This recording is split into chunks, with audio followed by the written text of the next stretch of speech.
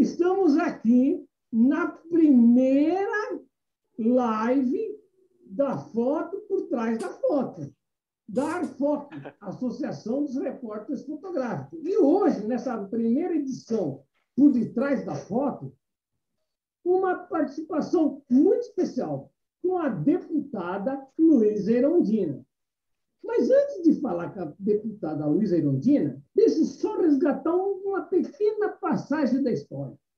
Jânio Quadros começou de uma forma muito autoritária, agressiva, proibindo o skate na cidade.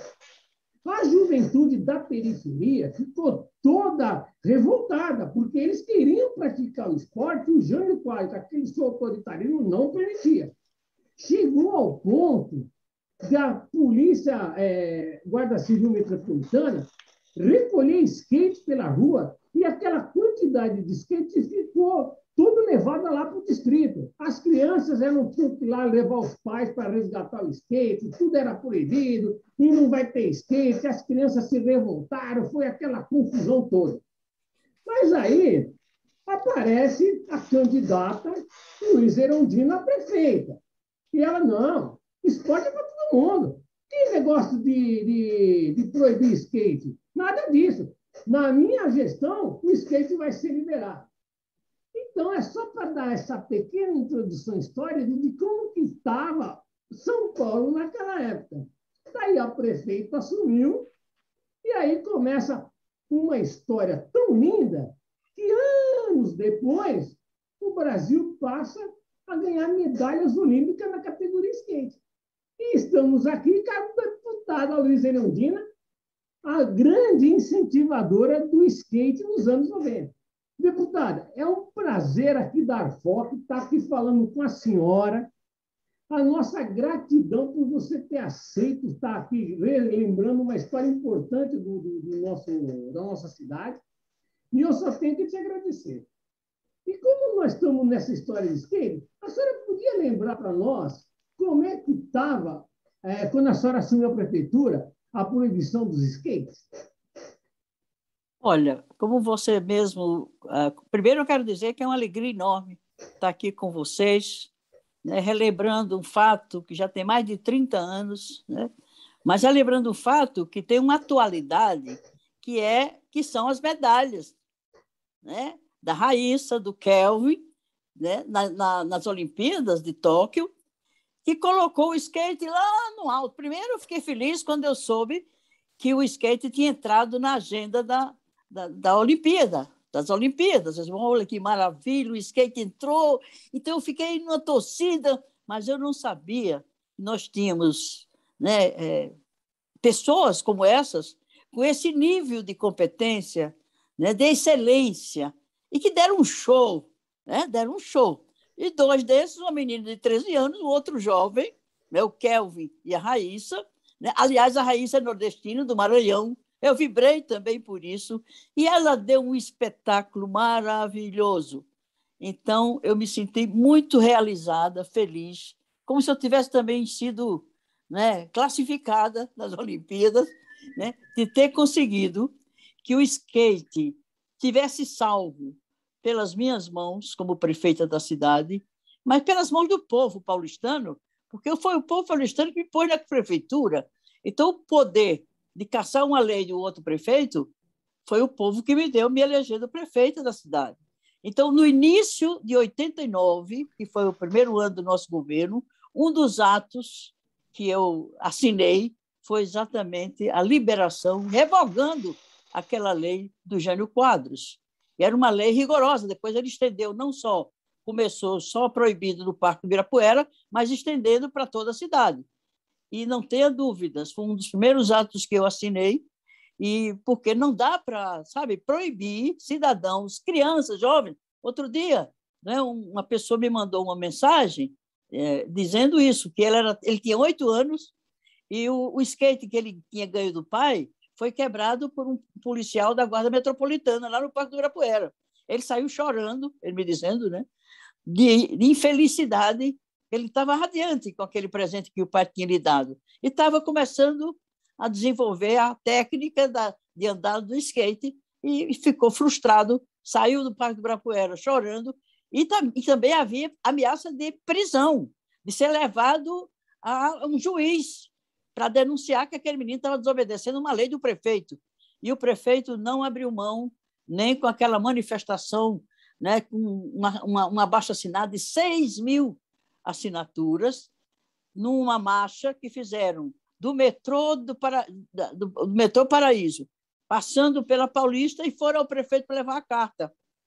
E o prefeito não cedeu, manteve a proibição. Aí foi quando eu, candidata a prefeita, alguém me, me perguntou sobre isso, eu disse, ah, vai ser o primeiro ato que eu vou fazer, é liberar o skate. Não tem nada de proibição, não. A cidade vai ser livre.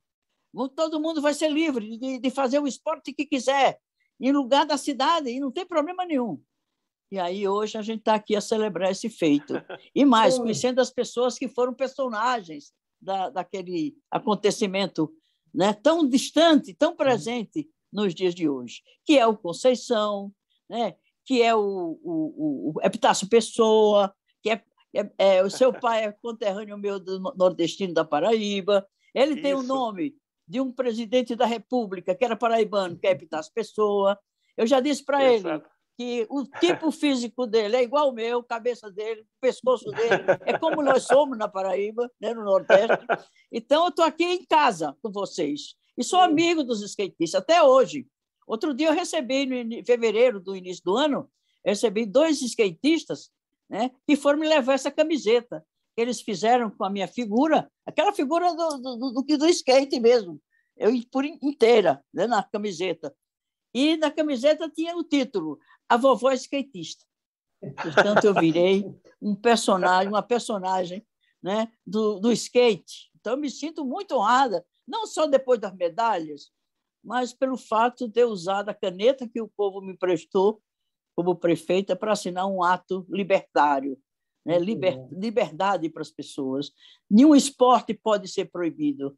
Né? Outras coisas que deveriam ser proibidas, como como é, é, autoridades autoritárias, né, governantes autoritários, né, que roubam também as coisas, roubam ah, o dinheiro do povo. É disso que a gente tem que se envergonhar. Mas deixar o povo praticar esporte onde quiser, na cidade, olha, não é comigo. Então, eu me sinto muito realizada e sou amiga dos skatistas. Vez por outra a gente se fala por telefone, ou então ele vai lá no meu escritório, a gente toma um cafezinho junto, tira uma foto junto. Tiramos já uma foto. Você viram uma foto minha com dois skatistas? Mas aí eu não tinha mais essa capacidade que eu tinha naquele momento. Né? Ali eu tinha muitos anos antes, menos idade. Né? Mas tentaria, não, não, não, tenho medo, não. Viu, deputada? E, e, e é só, é só para a gente passar a bola aqui para o autor da foto e o Enxovinhas, é assim, uhum. Nessa semana que passou, da vitória na Olimpíada, aquela história toda, o Epitácio Pessoa, o repórter fotográfico, autor da foto, publicou nas redes sociais dele a foto da senhora em cima do skate. E nós, da foto, por trás da foto, tínhamos que contar os bastidores de como foi fazer essa foto.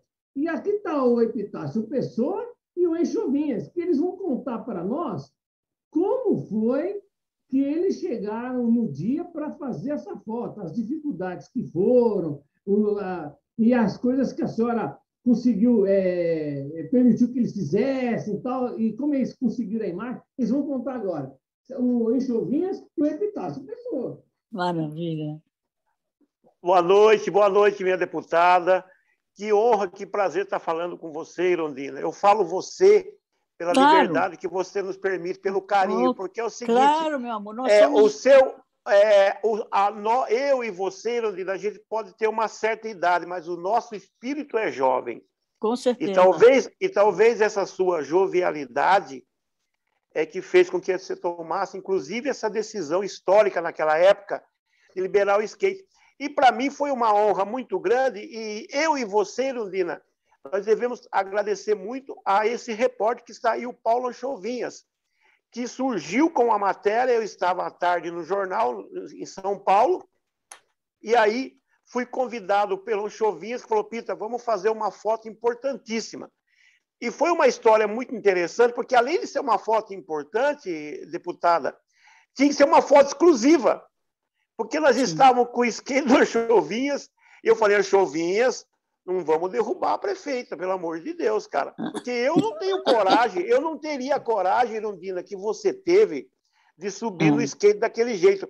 E interessante que o Chovinha me contou uma coisa, o Chovinha deveria ser aqueles, aqueles árbitros da Olimpíada. Falou assim, ela ficou mais de um minuto no skate.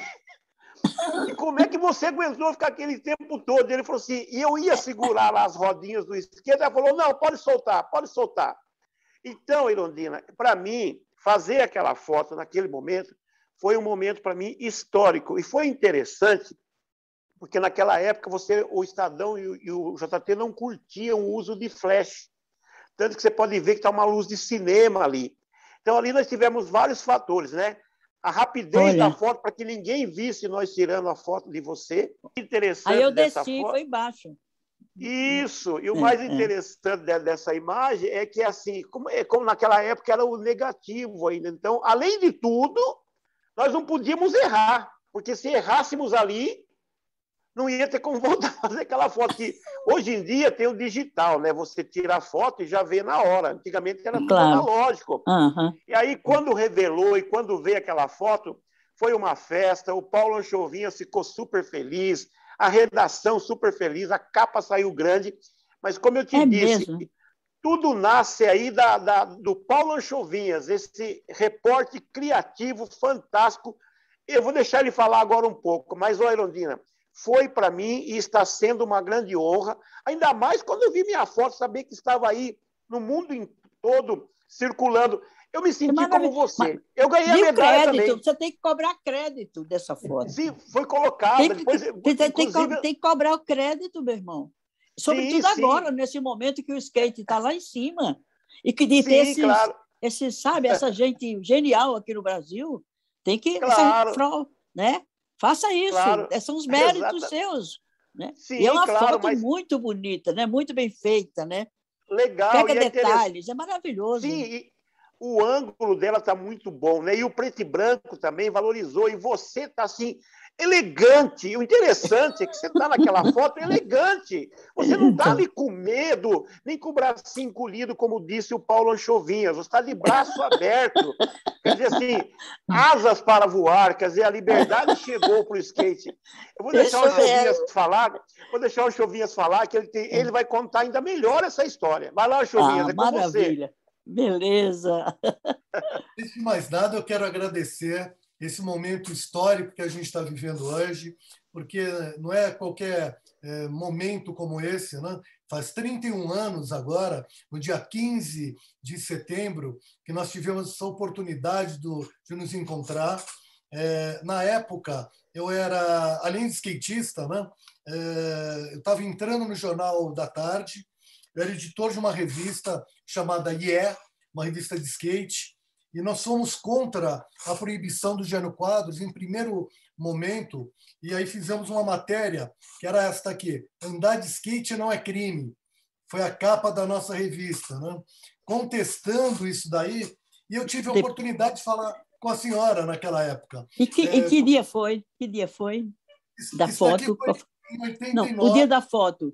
O dia da foto foi 15 de setembro Cinco? de de 1990. Cinco, cinco de 15. setembro. 15, 15 de setembro. 15 de setembro. É. Então, eu estava eu estava como prefeita, em 90. Já era Exatamente, é, é, já era prefeita. Já era 15 prefeita. de setembro de, de 90. Sim. Eu estou anotando aqui, nos meus arquivos aqui. Mas em 1989 a senhora ainda era candidata e eu tive a oportunidade de falar com a senhora como candidata. Foi você que falou Sim. comigo? Fui eu que, que, que, que, fui ali jogar essa linha na fogueira, porque nós eh, éramos contra o Jânio Quadros, contra a opressão. A prefeitura de São Paulo ficava onde hoje é o Museu Afro-Brasil, no Ibirapuera. E lá Sim. era onde nós andávamos de skate, os Ibira Boys o skatista de freestyle como eu, que andávamos ali.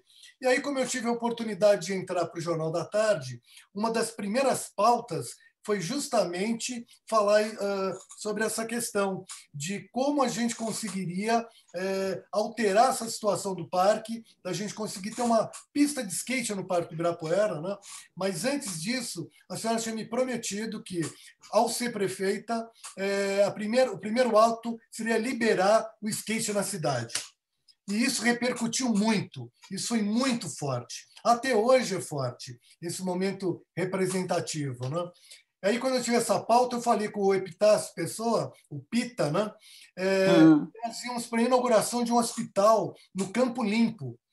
Uh, a pauta não tinha nada a ver com skate, nada. Era a inauguração do hospital. É, foi, foi um hospital que nós construímos. Um hospital que nós construímos. Né? E aí eu é. fui com o skatinho debaixo do braço, quietinho, o, o Epitácio também. E, e na hora que saiu toda a turma de jornalistas, fotógrafos, nós aproveitamos. Foi na inauguração do hospital? Foi na, foi na inauguração. Que legal. Foi na inauguração. Nós pegamos a senhora ali pelo lado e falou: Pô, daria para dar uma entrevista para o Jornal da Tarde? E nisso que eu aproveitei, falei, pô, nós estamos aqui com skate, a senhora gostaria de tentar uh, andar um pouco, só para mostrar? Ela, não, mas eu não sei andar. Falei, não se preocupe, é, basta subir, segurando aqui com a rodinha, a senhora não vai cair. Aí subiu, sentiu confortável, e eu tirei o pé da frente, e aí o Epitácio estava esperto ali na fita, né? e já, claque, claque, claque, claque, claque, com um sorriso, com os braços abertos, foi a coisa mais linda. linda. E você esse... tá, tá, era você que estava junto. Sim, eu olhei na foto, você estava rindo. É. Só tem uma parte do teu rosto que aparece. Você estava rindo naquele momento. Exatamente, estava adorando. E o mais importante é que essa foto ela representou um marco na história do skate. Ela eh, virou também tema de um filme, de um longa-metragem, chamado Vida sobre Rodas, que é a vida do ah. Bob Burnquist, do Sandro Sim. Dias do Lincoln Eda e do Cris Mateus, que fala sobre esse momento da senhora liberar o skate no, no, em São Paulo, na cidade. Uhum. na cidade, e isso repercutiu no mundo inteiro. O mundo inteiro. Então, se hoje nós temos medalhas, três medalhas, uma da Raíssa, uma do Kelvin e outra do Pedro Barros, é graças à senhora também. Ou seja, nós temos muita culpa de ter essa, essas medalhas agora para o Brasil. Eu sou não muito devem, devem a vocês, deve a persistência de vocês. Vocês lutaram por isso. Vocês fizeram uma marcha, passando pelo. e para enfrentar aquele grosso que era o Jânio Quadros. Era um homem chato, sabe, esquisito, um, sabe? Como é que se proíbe um, esque... um, um esporte de criança? É um insensível, um autoritário, sabe? Um, alguém que não, então, vocês é que lutaram por isso. Nenhum governante que ele faz está dando de presente, não foi conquistado por vocês. Só que um governo que é eleito pelo povo e tem compromisso com esse povo, ele faz exatamente aquilo que o povo quer, quer tem direito. Portanto, era direito de vocês, desde sempre, de ter a liberdade de praticar o esporte que vocês escolheram. E um governante democrático, para valer, ele não ia contrariar essa vontade, sobretudo de crianças, de jovens, de adolescentes, sabe? É, não tinha porquê, entendeu? Eu me sinto assim muito realizada, muito feliz. Teria valido a pena ter sido prefeita só por esse ato que vocês me ajudaram a praticar, a fazer, a realizar, sabe? Então hoje eu me sinto, eu me senti na, na vitória desses meninos como se eu tivesse sido vitoriosa também, entendeu? Por serem jovens do nosso país, projetando uma imagem positiva lá fora. Um país que está tão, tá tão numa tragédia de todos os sentidos, econômico, social, político, miséria, pobreza, fome, um país desse porte, que é a 12 economia do mundo, já foi a sexta economia do mundo, e tem um, um, um genocida que já matou quase 600 mil brasileiros e brasileiras, porque ele não garantiu a, a, a vacina em tempo de evitar tantas mortes. Então, é, a, a, a vitória desses meninos, sabe, lá em Tóquio, e o próprio fato deles, o, o, o esporte ter sido incluído na agenda né, das Olimpíadas, olha isso. Então, para mim, eu sou a mais feliz do mundo. Esse momento aqui hoje é para mim uma, é um momento de graça. Vocês não me devem nada. Vocês é que me devem a oportunidade de ter feito esse ato, sabe? Não foi nada em especial. Foi um governante que, democrático e que atende os apelos da sociedade, sobretudo em se tratando de jovens, adolescentes, no esporte né, sem, sem nenhuma coisa de ruim, só coisa boa, sabe? Ah, não, eu, tô, eu, eu, eu me agradeço a Deus ter vivido até aqui para ter tido esse momento com vocês. Eu quero, depois dessa pandemia passar, para a gente tomar uns e outros juntos. Vamos tomar Aí um você falou juntos. tudo. Vamos tomar um chopp juntos, tá certo? Sim, claro. Estou convidando prazer. vocês para esse chopp. Vamos fazer um chopp nós, nós juntos. Mas Pode antes ser? Disso, eu achava que era muito legal a gente conseguir eh, chamar Raíssa Leal, que é brasileira, nova, nordestina, mulher, Ótimo. que foi medalhista, para a gente fazer esse encontro de gerações. Seria algo muito lindo, de todas Vamos fazer. Vamos. Vamos fazer. Vamos. Só me avisarem, só é me comunicar que eu me arrumo bem bonitinha para aparecer lá nesse, nesse momento. Mas, mas, tem que andar de skate lá nesse momento aí? Não, né? Tem que andar de skate. Vai levar um skate, vai que a... a gente leva um skate. Olha, essa conta é muito boa. É.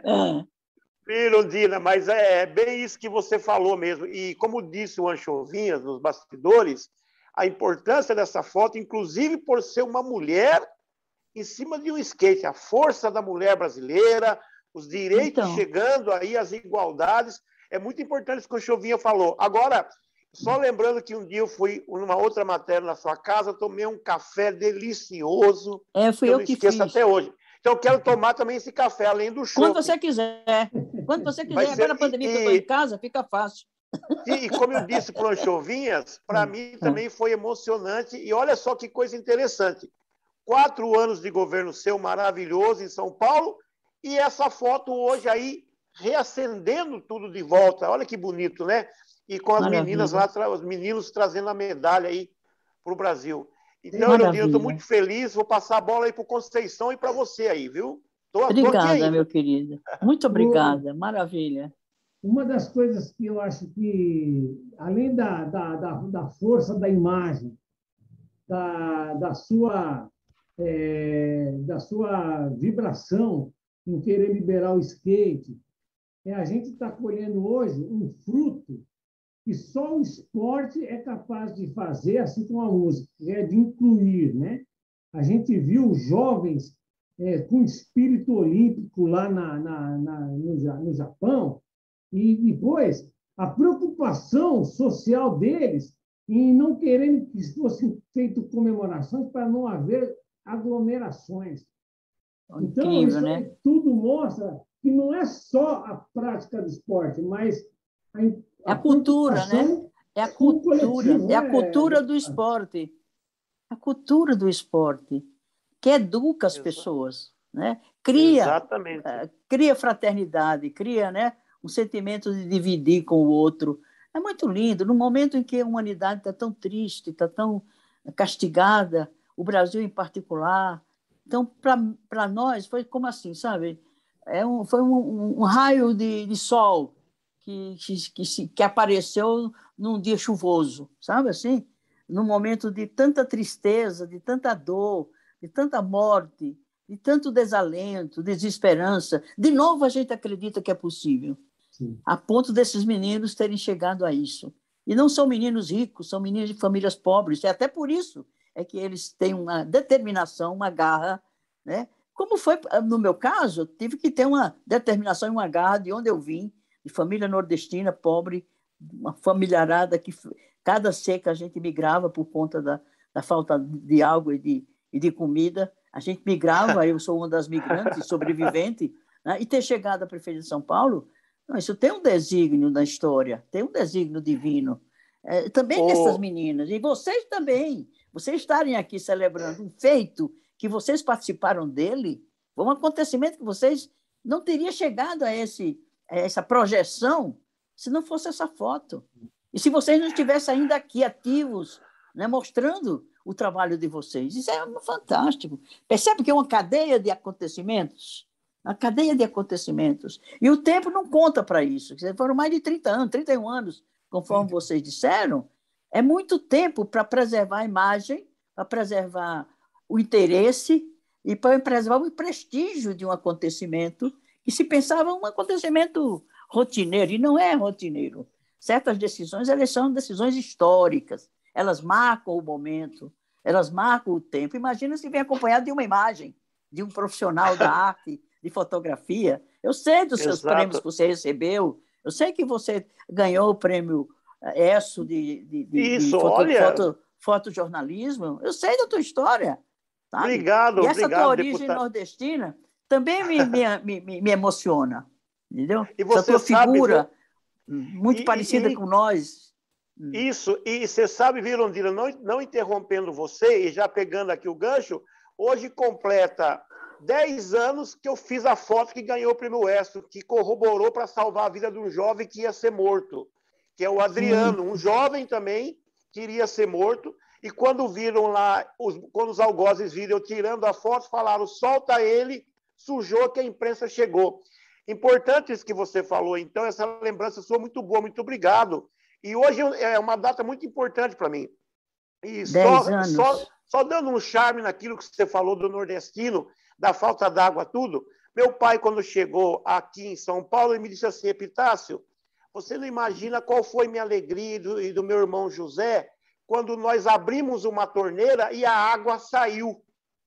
Você imagina você, eles tinham que andar com cacimba, três, quatro léguas para achar água naquela seca. Numa lata. Então, é, eu isso, carreguei isso. muita numa, numa, numa vara, eu numa ponta, minha irmã na outra, carregando lata d'água, que a gente pegava nas, nas cacimbas.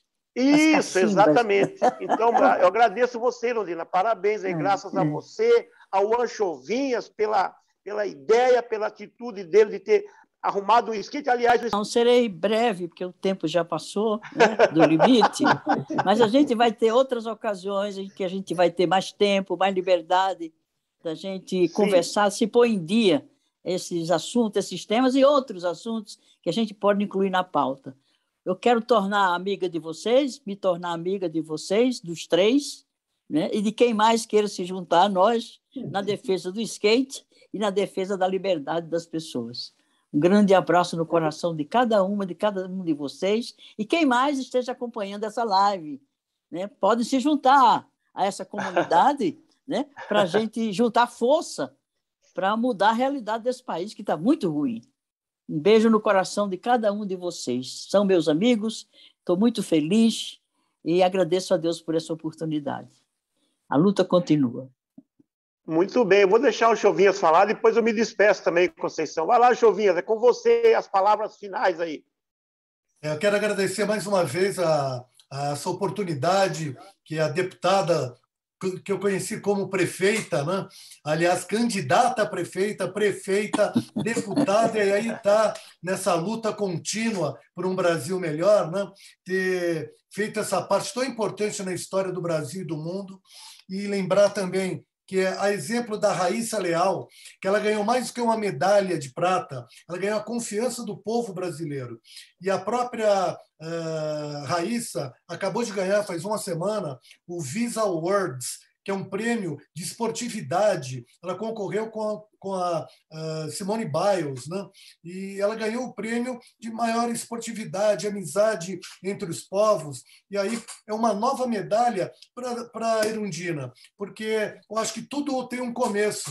Nós semeamos o que nós estamos plantando agora. E eu acho lindo uh, da sua parte e de todas as pessoas que tiveram uh, esse desejo de luta, de sair da, do autoritarismo para uma sociedade livre, livre em todos os sentidos, a gente ter uma campeã olímpica. Isso é um grande prêmio, uma imensa satisfação desse momento e desse momento histórico que foi registrado pelo Epitácio Pessoa, nas lentes dele, e quero agradecer também o convite do Conceição, da Fork, que por trás da foto está contando uma história muito bonita. Muito obrigado. Maravilha. Obrigada a vocês. Posso te fazer uma pergunta? Claro. Quando, quando você falou com a candidata e ela prometeu que iria fazer, você acreditou? Eu, mais do que eu acreditei, eu coloquei isso como matéria e isso vingou. E os skatistas, até hoje, quando é tempo de eleição, lembram disso. Tanto que na última eleição, eles fizeram até uma brincadeira com a foto, né, que virou meio que um meme, que pô, todos os skatistas adoraram isso daí, e eu acho que vão continuar lembrando, porque promessa é dívida, foi cumprida e a senhora mostrou o seu valor. Muito, muito bem, Obrigada. parabéns. Obrigada a você. Pois é, é, Conceição, muito obrigado. Deputada Erundina, muito obrigado também. Obrigado, Arfoc. Eu vou só rapidamente é, pegar um pouquinho do dom que Deus deu para o meu pai, que é nordestino, do lance do repentista. Vou só fazer um verso rapidinho para você aqui, tá, Irondina? Maravilha. Há 30, há 30 anos atrás, liberava o skate nossa querida prefeita Luísa Erundina. Hoje, 30 anos depois, a medalha de prata no peito da Raíssa menina. Que maravilha! Obrigado, é Conceição. Obrigado, Irondina. Que Deus te abençoe, que dê muita saúde, muita alegria. Não vamos esquecer do nosso encontro do show, que é importante também. Claro, Obrigado, claro. Conceição, pelo seu carinho. Obrigado, Arfoc, por esse momento especial. Foi uma grande honra ter fotografado você, Irondina, e vamos fazer aquela foto que nós combinamos aqui com, com o Paulo Chovinhas. Obrigado, Paulo Chovinhas, por esse momento especial aí. Parabéns aos skatistas e parabéns às nossas medalhistas e os nossos medalhistas que trouxeram a medalha do skate aqui para o Brasil. Maravilha. Até logo. Próximamente, logo, que não demore muito. E, Parabéns pelo seu programa, querido.